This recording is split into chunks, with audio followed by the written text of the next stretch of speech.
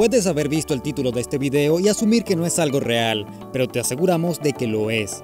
Hay una cantidad de condiciones raras que suenan inventadas, por ejemplo, el síndrome de la bella durmiente o el síndrome del hombre lobo, o el trastorno de la mano alienígena y uno del que ya hemos hablado, síndrome de Cotard. Pero con respecto a enfermedades, creemos que el síndrome de Alicia en el País de las Maravillas es quizás la de mejor nombre. No cubriremos ninguno de esos hoy y en su lugar concentraremos nuestros esfuerzos en explicarte los casos de cabezas que explotan. Por suerte, el síndrome de la cabeza explosiva no es tan malo como creerías. Si has visto la película de ciencia ficción Telépatas, habrás visto cómo una cabeza explota en todo su esplendor. De hecho, aunque el film data de 1981, no tiene comparación cuando se trata de cabezas que explotan.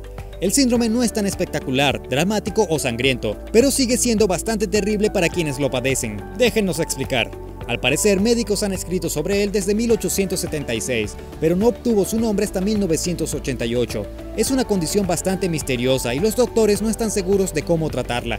Primero vamos a explicar cómo puede sentirse tener esta condición, luego veremos el por qué sucede y luego escucharemos a algunas personas que lo han experimentado. Imaginemos que te sucede. Estás a punto de ir a dormir o quizás te recién despiertas. Repentinamente tu cabeza se llena con sonidos ruidosos, pero estos parecen venir de otro lugar. Podría haber destellos brillantes frente a tu cara, podría sentirse como algún tipo de interferencia alienígena en tu cerebro. Sin duda estás asustado, pero desaparece. Eso es lo que se siente.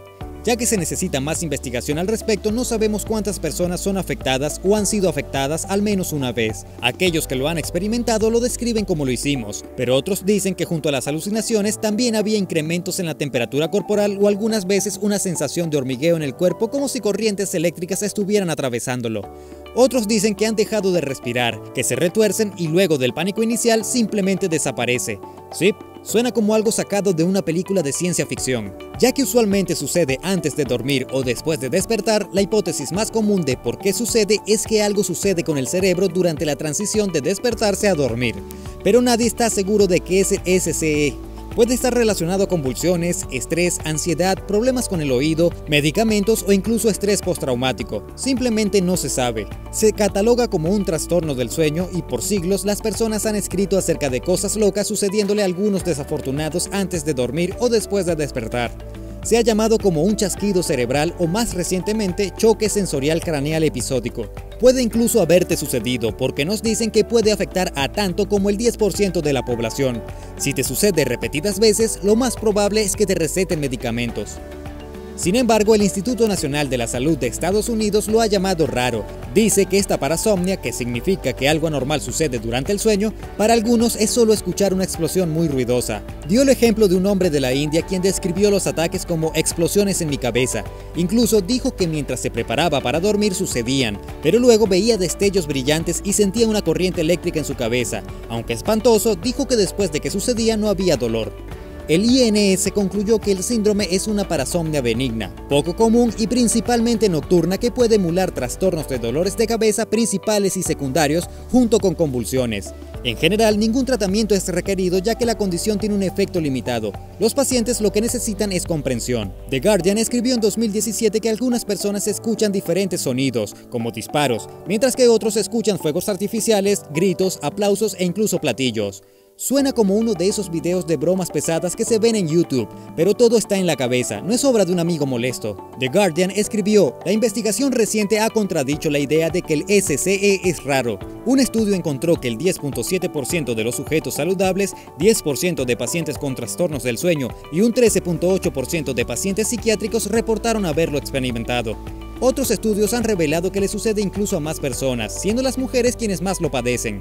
En el Reino Unido, los investigadores quieren saber más acerca de la condición, especialmente ya que le sucede a tantos. Las universidades del Reino Unido han pedido a las personas que se presenten si lo han experimentado, ya que muchos no le cuentan a nadie.